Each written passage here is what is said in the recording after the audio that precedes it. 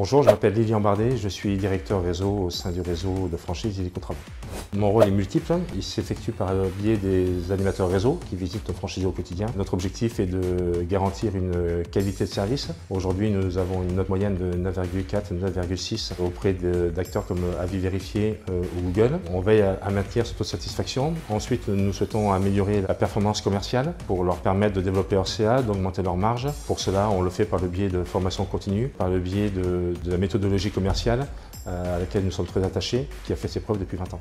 On accompagne nos franchisés tout d'abord en les aidant à recruter euh, des prestataires indépendants, des agents indépendants, pour leur permettre de développer leur CA et de rayonner de manière beaucoup plus efficace sur le secteur. Et puis on les accompagne aussi au quotidien euh, par des actions en les aidant à prospecter et la prescription locale, parce que le, bâtiment est un, est un marché local.